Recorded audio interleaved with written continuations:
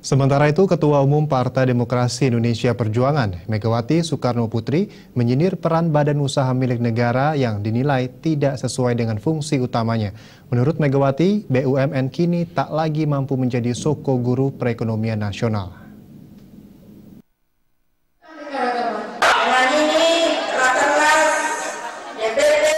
Dalam pidato politik yang disampaikan Ketua Umum PDI Perjuangan Megawati Soekarno Putri pada pembukaan rapat kerja nasional pertama PDIP, peran BUMN dinilai tak sesuai dengan fungsi utamanya.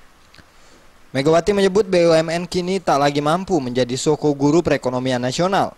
Saat ini BUMN hanya diberlakukan sebagai sebuah bisnis dan korporasi.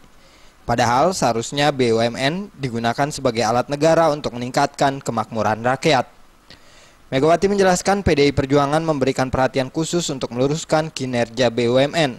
Hal itu sudah diperlihatkan oleh kader PDI Perjuangan di DPR saat membentuk Pansus PT Pelindo II. Pansus melahirkan rekomendasi agar pemerintah mengkaji ulang kontrak PT Pelindo II dengan Hutchison dalam pengelolaan pelabuhan Tanjung Priuk. Megawati mengatakan jika BUMN dikelola dengan baik, maka pembangunan negara juga akan berjalan mulus. Tapi berbeda dengan yang terjadi saat ini, BUMN hanya diperlakukan seperti korporasi swasta yang mengedepankan pendekatan bisnis semata atau yang sering didengungkan sebagai sebuah pendekatan bisnis to bisnis.